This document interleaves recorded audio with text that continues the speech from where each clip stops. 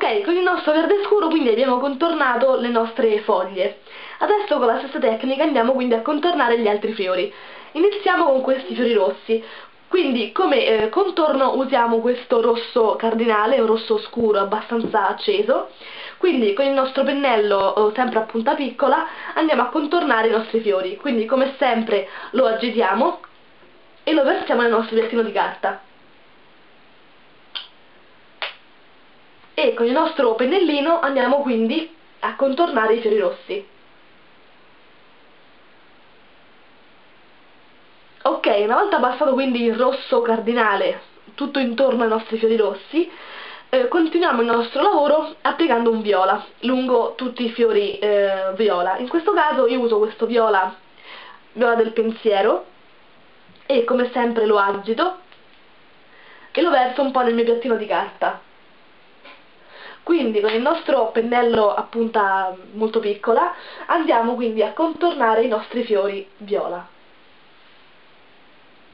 Ok, quindi contornati i fiori viola, adesso passiamo a contornare gli ultimi fiori che ci rimangono, cioè quelli gialli.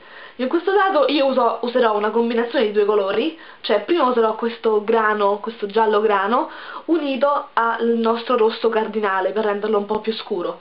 Quindi come sempre il nostro giallo lo agitiamo e lo versiamo nel nostro piattino di carta. E uniamo una punta di rosso. Ok. E con il nostro pennellino a punta andiamo quindi a mescolare i colori e quindi a contornare le nostre margherite.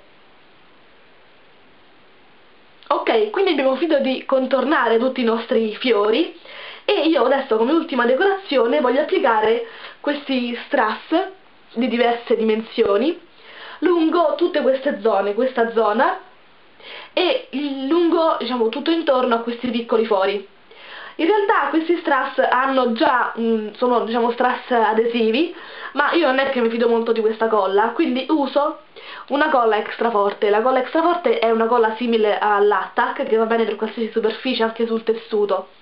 Quindi che facciamo? Prendiamo la nostra colla, la apriamo e la versiamo un po' nel nostro piattino di carta. Ok. La chiudiamo. E con il nostro pennellino a punta piccola andiamo a fare dei piccoli puntini in questa zona. Prima ci concentriamo sulla zona centrale dove io applicherò questi strass più grandi.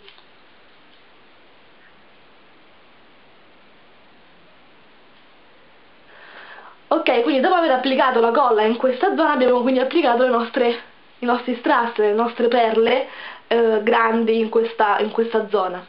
Ora con la stessa tecnica mettiamo un po' di colla questi, lungo tutto intorno a questi fori e andiamo ad applicare questi strass un pochino più grandi.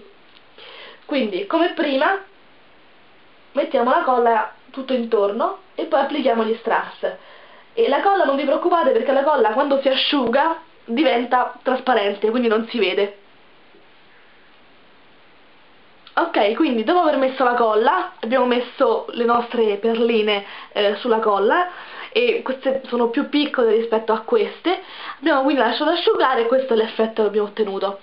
Ora con la stessa tecnica mettiamo la colla in questa zona, quindi qui e qui, fino ad arrivare appunto ai nostri fiori rossi.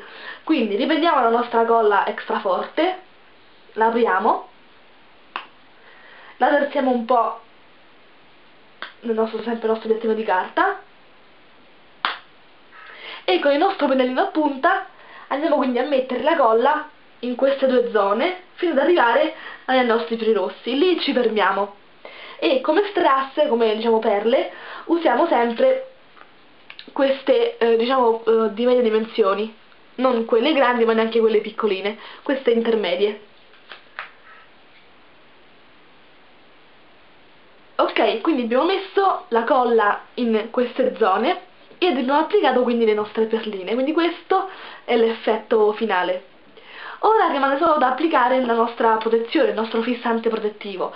Dei fissanti protettivi ne esistono di due tipi, sia in crema che eh, in spray. La differenza tra questi due tipi sta essenzialmente nel modo di applicazione perché il fissante in crema è liquido, quindi va applicato con un pennello a setole piatte, mentre il fissante in spray è appunto spray, quindi basta semplicemente spruzzarlo sulla superficie. Io personalmente mi trovo molto, molto, molto meglio con il fissante in spray perché è molto più comodo e veloce sia da applicare che da asciugare. Infatti si asciuga veramente eh, in maniera molto rapida. E, um, di fissanti protettivi esistono sia lucidi che opachi a seconda dell'effetto che volete dare all'oggetto e in base anche ai colori che state usando e che avete usato per le decorazioni. Quindi io adesso andrò ad applicare questo fissante lucido, questo fissante spray lucido e um, questo va prima di tutto agitato e poi da una distanza di circa 30 cm lo applichiamo su tutta la superficie sia questa che questa e mm, io ti consiglio di applicarlo fuori, da, fuori, di casa, quindi su un balcone o in finestra, perché ha un forte odore, quindi potrebbe dar fastidio eh, in casa. Quindi adesso applichiamo il nostro fissante. E prima di applicare il fissante voglio dirvi una cosa. Io in questa parte dell'oggetto non, non, non l'ho decorata, non ho applicato fiori o cose o altre decorazioni, però ovviamente voi siete liberi di, di, di farlo senza problemi, io mm, mi piaceva solamente decorare una, una, una faccia da sola. Quindi adesso appunto andiamo ad applicare il nostro fissante. Ok, quindi l'oggetto terminato si presenta in questa maniera.